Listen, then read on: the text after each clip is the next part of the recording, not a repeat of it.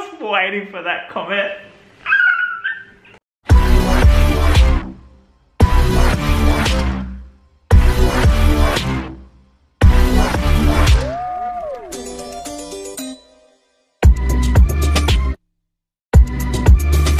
Hey guys, what is up? And welcome back to my channel. And today I will be reacting to Outer Banks Season 2, Episode 2 and I am so, so, so, so excited. The first episode was such a great way to start us off for the season and it's bringing all the summer vibes which I am entirely missing right now when it is like very, very cold where I am, rugged up in a jumper and tracksuit pants. Um, so I'm missing the summer vibes and this show is definitely warming me up. So um, without further ado, let's get into the episode. I hope you guys enjoy it. Um, yeah, let's do it.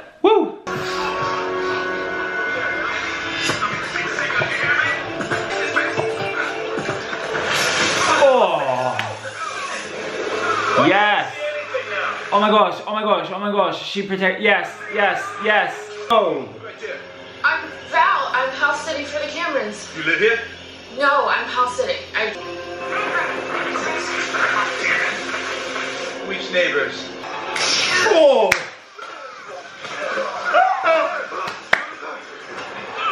They're like Bonnie and Clyde, baby.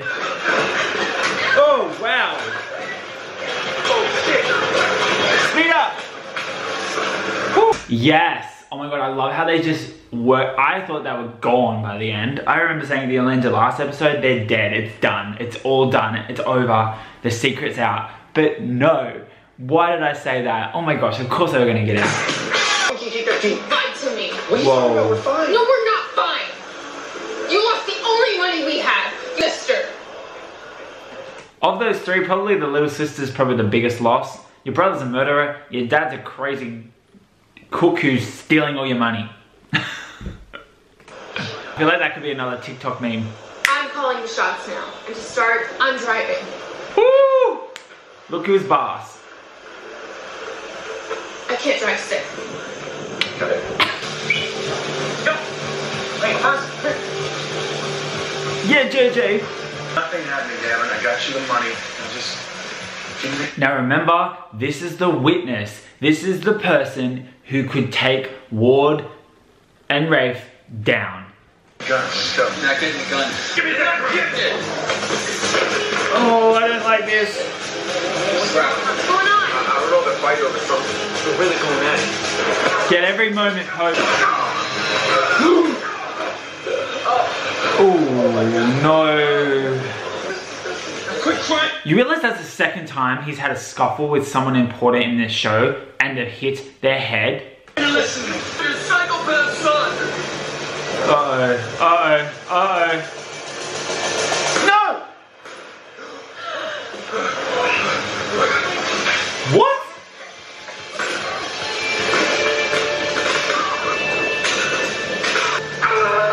Well, you killed him now.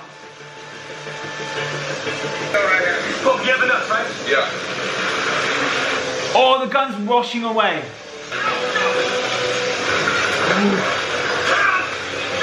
Oh. think the gun just went down the drain. What is wrong with you? Fireworks! Kie! No! Oh my, oh my god, oh my god. The fact that now they're being seen, it means he knows that there's witnesses, which means he's coming after them. Why can't they just look after themselves? I hope that camera is... No! No! No! Oh, they had him for life! Oh. See, that's the problem with some of this old tech. It just breaks. What the frick just happened? Uh, wait, wait, wait. What, what were they fighting over? Uh, House! Who else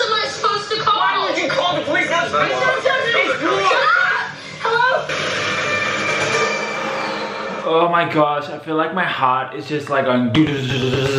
Everything has happened in this 10 minutes of this first part of this episode. Like, they had everything and they've just lost everything in 20 seconds. like I love Kie, but I feel like she's made so many silly mistakes in this season so far that it, it's affecting John B. And I know she doesn't mean to. She's trying to be fast and she's trying to express herself, but it's not helping right now. I love her, but literally now they had evidence and they've lost the evidence. Like all that hard work and that effort and that danger that they put themselves in, they've just lost it. I hope they can find something else. Ugh. You're lucky I'm not on the phone with the cops I'm not worried about that. Because you saw what was in that safe, did you not? Yeah, I did. And it was exactly what we told you it was going to be. You have a boat that can get us away. You know people and the island. And I can find out exactly when that gold is moving. And you stole my boat. I don't owe you shit. But I'll give you 10. 10 million apiece. What? What'd you get? John B, Girl taking charge. 10 million apiece. Ten million dollars. We're just throwing money away. can't show it to you because I stepped on JJ's hand and then he kicked Pope and then Pope dropped the camera. Piece of shit. Oh, Officer, this bro. is a telephoto. We needed to get one. Really are sounding like kids right now. Like they've they're doing like high adult intense danger stuff. But when you just hear them say that, it really sounds kid-like and that's really upsetting because they are far from babyish. expect me to do with this? Right, you dragged me out here in the middle of the night for a whole lot of nothing, No, except not- for some, it's not except nothing. for some crazy story. Called him here and tried to pay him off, but it wasn't enough, and then so you shot him Exactly. with the murder weapon. Okay, now they're sounding a bit more How do you know that? We lied. Shoot, I know it sounds crazy. I know All right, there's nothing up there. All right, false alarm. Let's all go home. No, no, please Back don't. the drain. All that hope that I was talking about the, the, the in the last episode that has just evaporated right now. Like they have to go from scratch. But I'm saying go for the drain and find the gun. Please, at least look for him. My fault. Yeah, it was your fault. Why do you always take his side? Guys. Like, why do you never? Shut up. Hey! We're not out of this yet. We can still go get the gun. Yes, yes. You just stay calm and stay quiet, okay? Okay. No, okay, he did take the body and did clean it up. I got it now. Who's. Whose body is This okay. Right. I gave him the gun. The gun that you used. And I told him to throw it out the window over the ocean on his way to the Bahamas. What a way to kind of get Rafe back on side once he was flipping out. Calling him a psychopath, which I did call him last episode. wasn't going to jail for you. Construction site. Grant, and wash down the storm. We need to find it. Now do this. No, but the others had a lead on him, right? They had still nighttime. Who is this? Hi, It's me. Me who? It's me, you dumb. Oh my gosh. Oh my god. Hey, I need you to keep this on the down low. Uh, yeah, no, no, no, no, no, no, yeah, yeah, totally, totally. Just totally normalizing. Her sister just faked her death, or is was no, was suspected to have died, and she's like, yeah, yeah, totally, totally. We just we just keep it on the down low. Totally. The bankers? It sounded urgent. Oh, and you said something about vault services and transport? What you here for then? Come over here and rub all that shit in my face? Oh, I'm here to hook you up. You wanna make some money? What type of stupid ass question is that?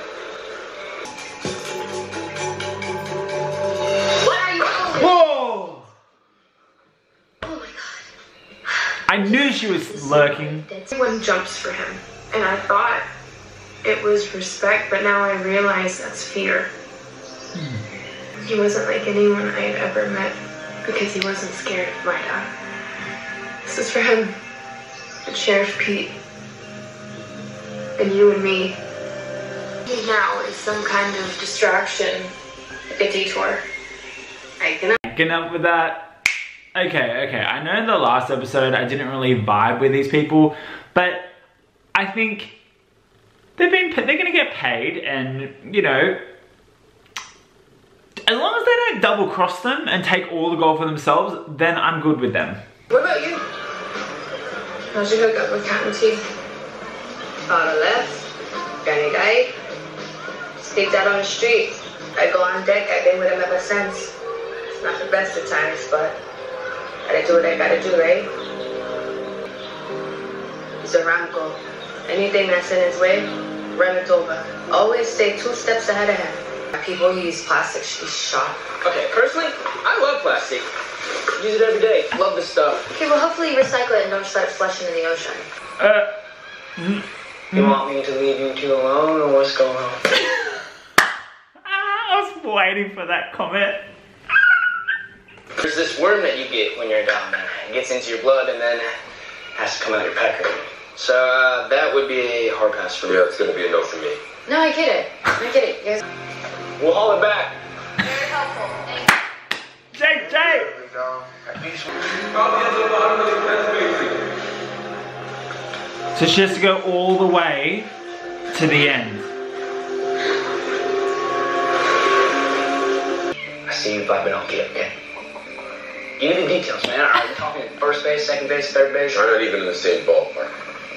What do you mean by that? It's like we're not playing the same. JJ and his like determination to find out about everything that's going on with Pope and Kie is such a funny thing. The question is, is he jealous? Like, does he like Kie and he doesn't know how to show it and he senses that his friend is with, like, kind of vibing with her so that he wants to, like, figure it all out before he can figure his stuff out? I don't know, but I just, I just love JJ. What about now? Now I catch your car. No! Oh my gosh, I can't. Oh my god. I live in the sewer. Oh no, please, no, please. Flush him out. No, please, no. Please, no, please. That might be gonna kill the rat. Psycho. Alright then. Alright then, tough guy.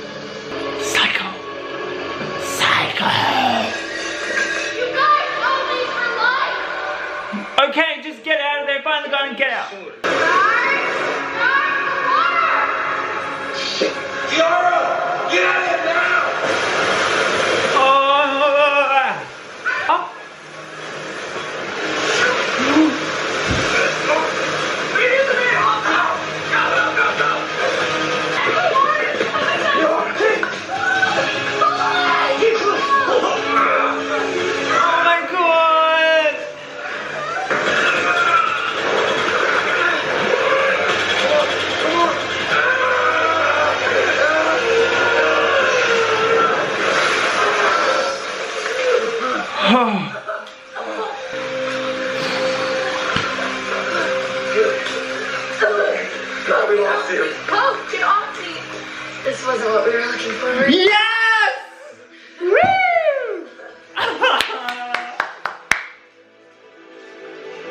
yes! Oh my god, they did it!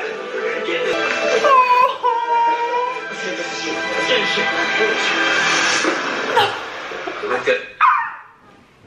When JJ has hope, he just fills the room with so much joy and every scene with him feeling so hopeful is beautiful. Like those eyes in his demeanor, demeanor, demeanor.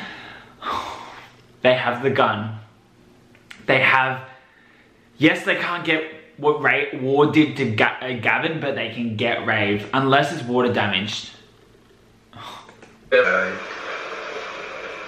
You should go with me. Okay. Something I noticed in this episode, obviously they have some circumstances that have brought this these this development on. But if you think about last season, Ward had no care for Rafe. Like he treated him like crap, he cut him off, all of that. And yes, the only reason why he's protecting his son is because he did kill someone. And now anytime who anyone like talks trash about Rafe, he snaps.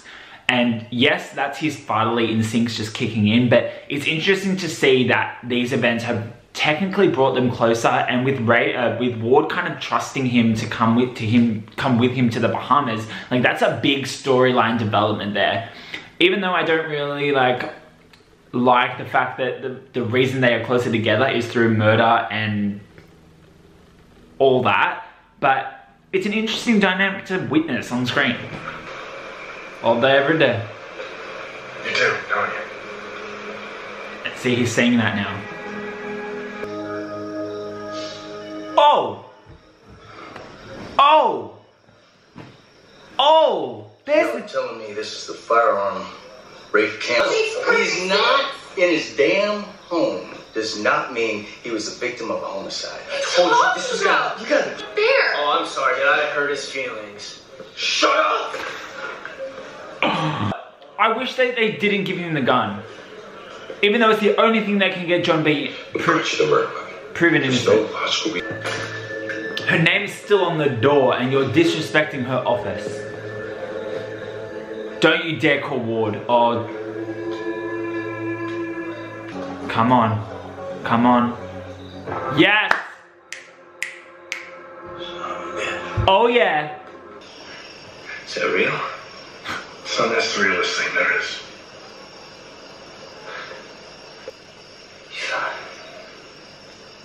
You didn't find shit. Film room merchant.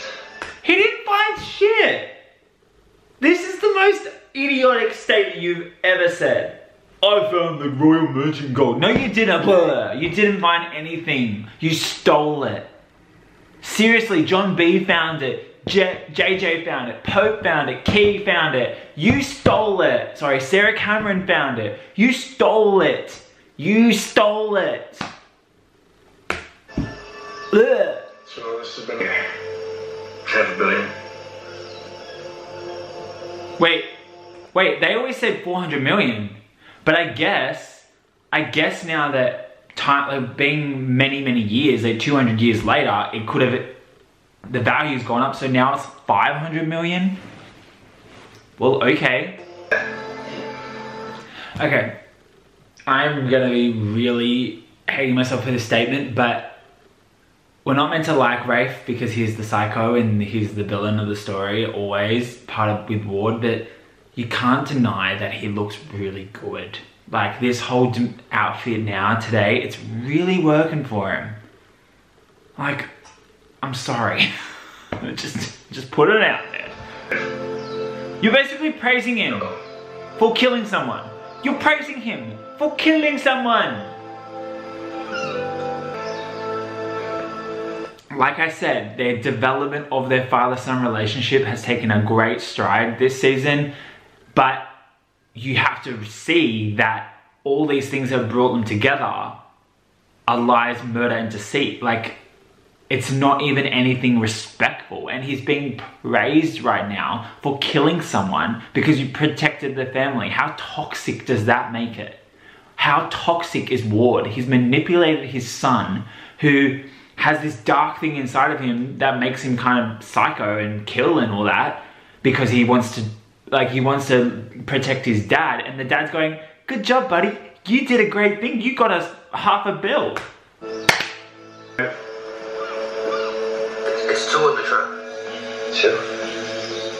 right Rafe. Let's go, Ray. Teeth. Pistols? Big case. Shit's about to be done. I don't think that's gonna protect you much John oh the kids are the watch the watchers to see when they where they are No, no! Guys, get away from the car!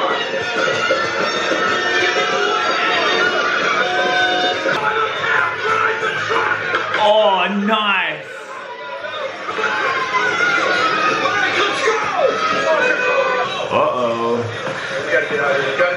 got us trapped. They can't go forward. That.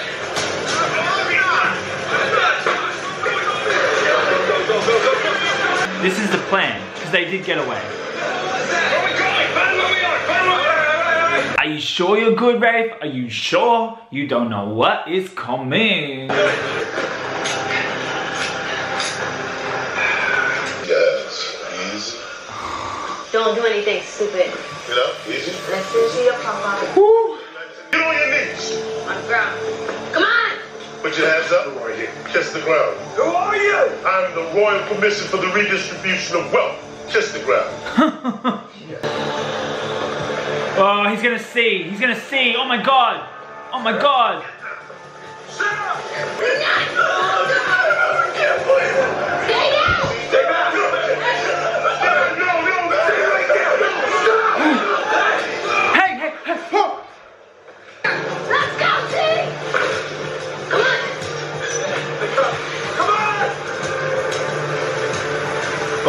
John was gonna kill him. I thought they took out both armored vehicles though.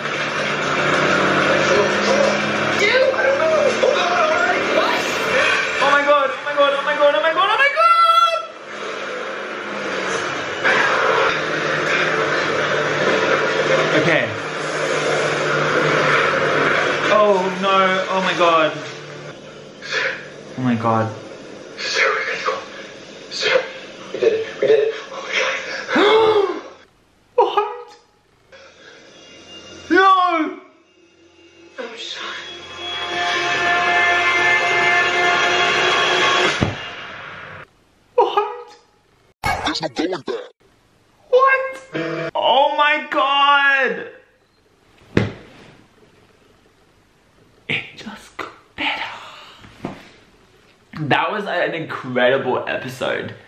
They really, I love that they did the miss, the, I guess they delayed the John B and Sarah are alive reaction for that heist and I really, really like that they did it in that point. Him finding over, over the phone would have felt really disjointed and obviously he would have just known about John B and not Sarah.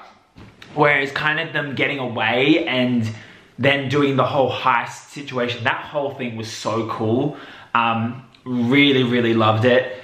Um, it allowed them to expose that John and Sarah are alive in almost a really cool way. You know, the fact that they go in and get the gold, Ray, uh, Ward kind of turns around and looks and he sees and he flips out. But then that whole situation then leads to kind of a gunfight almost and not gonna lie, I'm pretty sure Rafe made that shot, right? Don't quote me on it, but I'm pretty sure John never pulled the trigger, but Rafe did. And it was like in the scuffle, and somehow the gunshot has got all the way to Sarah. And then we we literally see the relief on John B's face. He's like, Sarah, Sarah, we got the gold. And then she's like, I've been shot. Oh.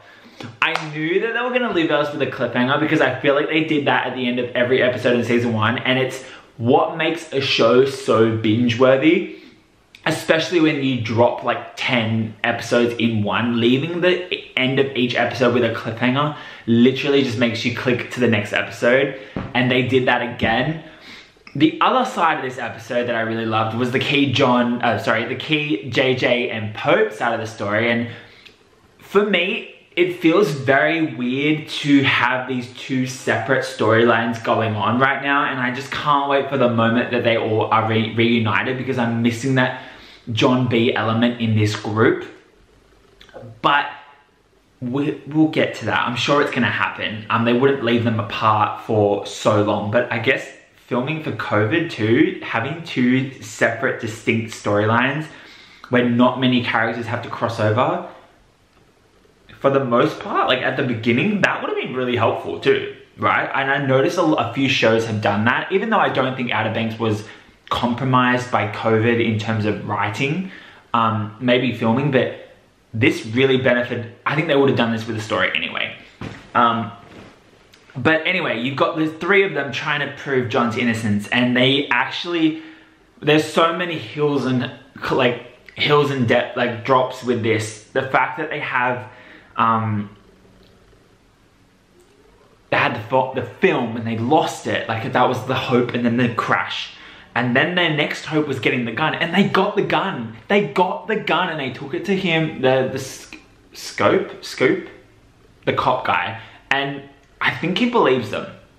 But I think the reason he is not openly doing things is because he knows Ward has his connections in that sheriff station and he learned from Peterkin, you need to kind of play under the radar to get these guys out. And he knows that the stakes are quite high because Peterkin got too involved, too trying to protect John B and ended up getting killed by it. So I think he's playing a safe game right now, but it's very interesting. There is never a side that clearly is winning. Like, we've got the gold, but Sarah's shot. They've lost the gold, but at the moment they're still safe. Like, it's very interesting. Loving it. so, so, so invested. I can't wait to see how they're gonna get Sarah okay.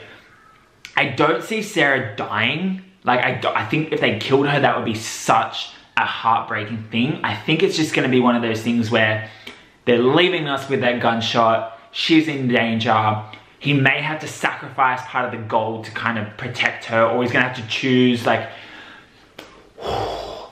Anyway, I hope you guys enjoyed this reaction. If you did, give it a thumbs up. Make sure to leave a comment down below your thoughts of the episode. Remember, no spoilers on the future episodes. Um, make sure to click subscribe. Every day I itch closer and closer to 10k, so you should be a part of that. Come on, join the couch club.